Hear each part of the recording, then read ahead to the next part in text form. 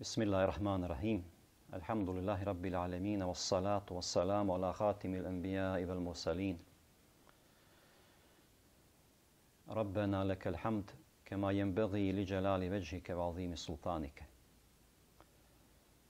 اللهم ألف بين قلوبنا وأصلح ذات بيننا واهدنا سبل السلام ونجنا من الظلمات إلى النور وجنبنا الفواحش ما ظهر منها وما بطن Allahu naš, ujedini naša srca, popravi naše međusobne razmirice, povedi nas putevima mira, izbavi nas iz tamaka svjetlošću i poštedi nas razvrata i javnog i tajnog. Poštovani vjernici, braćo i sestre, današnji ramazanski muhabbet, 11. po redu, je na temu vrijednost posta po ljetnjoj žegi, po vrućinama. Jer mi smo, pogotovo u ovoj zadnjoj trećini Ramazana ove godine, u danima kada su pretpostavka je dani dosta topli, i kada je vjernik koji posti u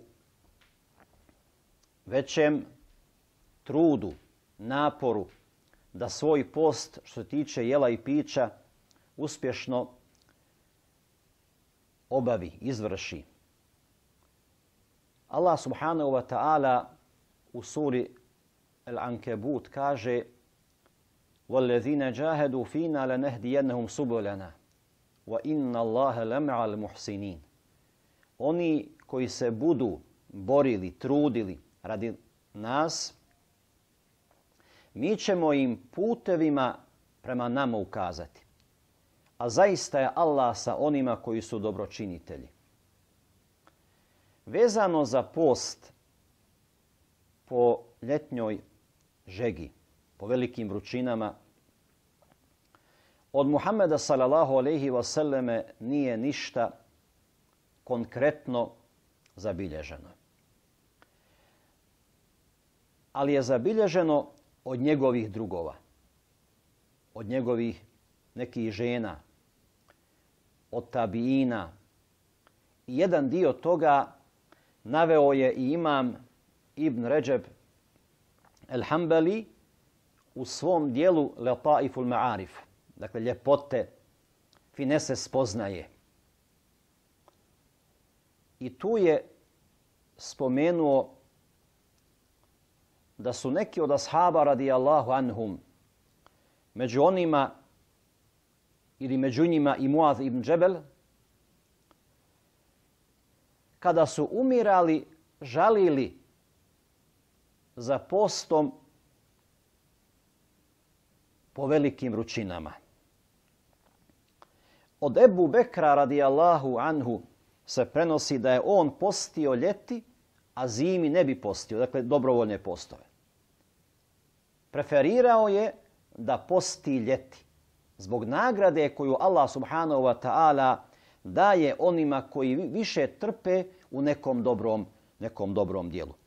Omer radijallahu anhu na samrti je savjetovao svog sina Abdullaha i rekao mu drži se osobina vjerovajne. I kao prvu je spomenuo post po velikim vrućinama ljeti.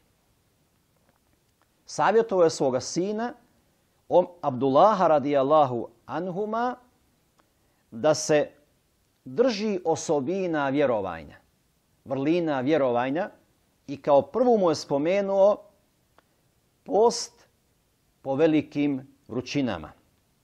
Kasim ibn Muhammed kaže Ajša radijallahu anha bi postila po velikoj žegi. Pitali su ga šta ju je navodilo na to? Šta je htjela s time? Pa je rekao, htjela je da preduhitri smrt. Međma etejmi je bio veliki pobožnjak i on bi toliko ljeti postio, toliko bi iznurio sebe u postu ljeti, gotovo da padne u nesvijest. Jedna od poznatih žena, pobožnih žena, stalno je birala da njen dobrovoljni post bude ljeti kad su velike žege. Kada su je pitali o tome zašto to radi, rekla je kada padne cijena robi, svako je može kupiti. Dakle, lahko je postiti zimi, a treba postiti, treba postiti ljeti. A to ne može dobar dio, dobar dio ljudi. I to je ta uzvišena ambicija, uzvišena težnja. Kada osoba u onome što vidi da je zaista Allahu posebno drago, ne želi da žrtvuje. Pogledajte, birali da svoje dobrovoljne poste, e, da svoj dobrovoljni post poste ljeti. I to su preferirali u odnosu, u odnosu na, na zimu. E, Ebu Musa el-Eš'ari radijallahu anhu jednom je bio na jednom putovanju lađom, dakle na moru, i čuli su glasnika kako doziva. Ne vide ga, čuju glas. O putnici lađe, zaustavite se, stanite. I to je tri puta ponovio. Taj glas je tri puta čuo ovim riječima. Ebu Musa radijallahu anhu kaže, rekao sam, o ti neznanče, kako da stanemo? Zar ne vidiš na čemu smo? Kako možemo stati? Glasnik reče, hoćete li da vas obavijestim o odredbi kojom je Allah obavezao sebe? Reče svakako obavijesti nas. A on reče, Allah je obavezao sebe da ko u vrelom danu i žedni sebe radi Allaha. Obaveza je Allaha da ga napoji na sudnjem danu. Trgovina sa Allahom. Ko sebe i žedni radi Allaha posteći u vrelom danu. Allah je na sebe uzeo obavezu da ga napoji na sudnjem danu. Pa je Ebu Musa radijallahu anhu birao te dane velike žege u kojima insan gotovo da se raspadne i postio bi. Kaab radijallahu anhu je govorio Uzvišeni Allah je rekao Musa'u salam ja sam se zakleo sebi da svak onaj ko žedni sebe radi mene ja ću ga napojiti na sudnjem danu.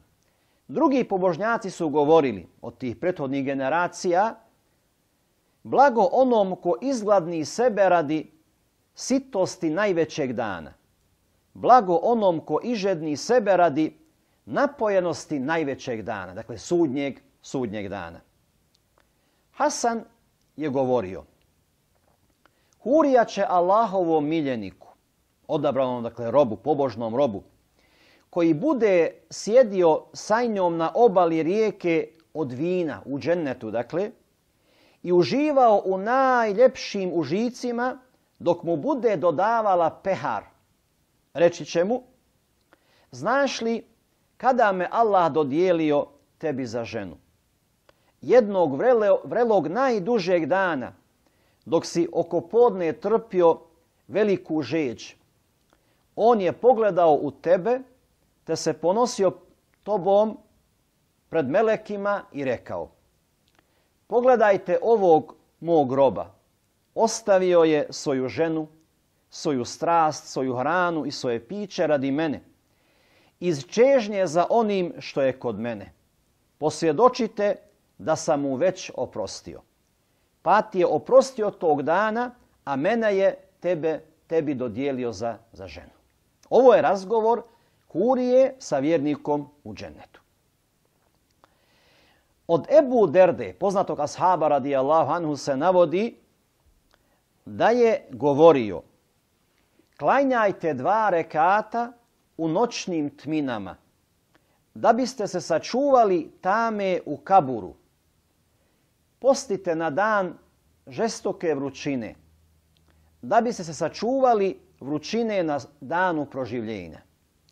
I dijelite sadaku, kako biste se sačuvali zla teškog dana. I s ovim riječima Ebu Derde radijallahu anhu završavamo ovaj govor o vrijednosti, o nagradi posta kada su velike žege. Moleći Allaha subhanahu wa ta'ala da nam ukabuli post u ovim žegama, da nas sačuva iskušenja koja ne možemo podnijeti i molimo ga subhanahu wa ta'ala da budemo od onih s čijim će postom i svim ostalim ibadetima i dobrim dijelima biti zadovoljan. Zadovoljan. Wassalamu alaikum wa rahmatullahi wa barakatuh.